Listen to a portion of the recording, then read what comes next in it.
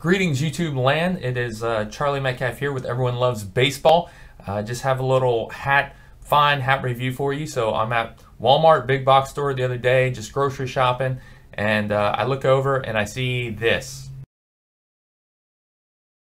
And I'm like, wow, that's a lot of hats. And so uh, some of them, you know, you're, you're kind of a little more on the cheesy side, and other ones look really sharp. And so uh, I'm drawn to this hat uh, I go over there and uh, take a peek at it and look at it and kind of examine it. And I'm like, ah, you know, maybe later. And I went back the next morning and, and picked it up. So, uh, pretty sharp design, I think. And uh, baseball's back. So, owners, players finally worked that thing out. And um, I'm so glad. And so, I wanted to celebrate. And so, this was like the day after that deal came through. So, anyhow, uh, the hat kind of reminds me of a, uh, of a New Era 920 hat. Also reminds me a lot of the 47 uh, cleanup style hat. And so uh, dad caps. Uh, and um, and so I want to give you a little review in case you're wondering about it. So uh, number one, it's genuine merchandise. So uh, the little uh, logos in there, hologram type stuff. number two, the brand name is Fan Favorite. Fan Favorite. And they're kind of hard to find online if you want to look them up. Uh, the brand is, is made in Japan. I think it's going to be exclusive for, for Walmart or whatever. So, um, but I just wanted to talk about the, the kind of the fit, the quality, the style, uh, and the price point of the hat. So, um, number one, the, the, the, fit's really good. Uh, so you've got that kind of, like I said, it's it's a dad hat. It's going to lay flat. There's not a lot of structure there. It's not as loose as a cleanup hat. So uh, this is the 47 cleanup. The the material is a little bit lighter, a little more uh, non-structured in there, uh, where this has a little more, um, you know, it will still move if you want it to, but it's not going to flop uh, on its own. Uh, and it's a little more like the New Era 920. So this is a New Era uh, 920 uh, that is going to sit on there. And there's just a, a little more weight structure to the, the top of the cap. So in terms of the quality of it, uh, looks good. I mean, there's some differences. There's, you know, six lines of stitching coming across here versus, uh, you know, eight on some of these. But if you look at the inside, this is a 47, so, you know, high, high quality brand. You've got, you know, the, those four lines in there. You know, it's the same type of thing. So there, it, it seems to be pretty uh, well made there.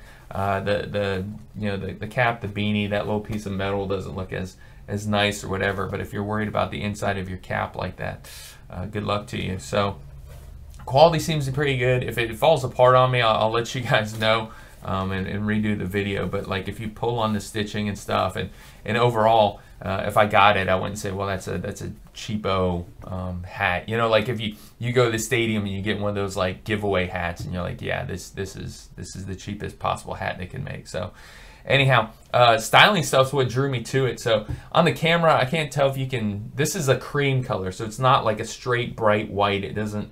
Um, it's not supposed to look straight bright white. So that's white next to it. It's an off-color cream. That cream stitching is throughout the hat, so you've got that um, on the back and around it and whatever. So I think that's pretty uh, sharp looking uh, when it comes to uh, just that. Uh, and also I want to say the back just has one of those basic adjustable, you know, one size fits most. And 47's got more of a signature one, their logos, you know, on there. And then the uh, 920s is a little bit different too, you can see kind of that comparison between those. So, um, yeah, man, I, I think the, the, fit's great. The quality seems to be pretty good. Um, the style's there, and for a $16 price point, like if you like your team, go out and get it. Uh, they had some uh, some other ones, you know, that, that kind of equivalent with the uh, the 47 MVPs or um, you know, kind of the 920s and stuff. So I say, you know, if, if you like the style, man, go to the store, pick one up, 16 bucks. And one of the things about that is you're not paying shipping, right? So for me, uh, local Southwest Georgia, I'm an hour and a half from the stadium. Um, so A, I'm not paying shipping to, to get it from MLBshop.com. And then the other thing that I may make a whole video about is that MLBshop.com is charging handling fees. Like, how are you going to, oh, we're going to offer you a 10% discount or free shipping or whatever, and they tack on a $2 handling fee?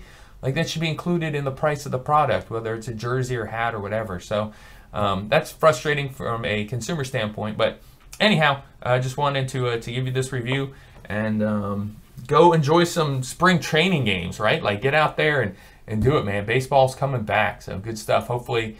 Um, you know, I was gonna say hopefully the Braves will bring Freddie Freeman back. I don't know how this video is gonna age though, so there may be some crying emojis underneath. Anyhow, uh, hope you're having a great day, and uh, we'll see you next time.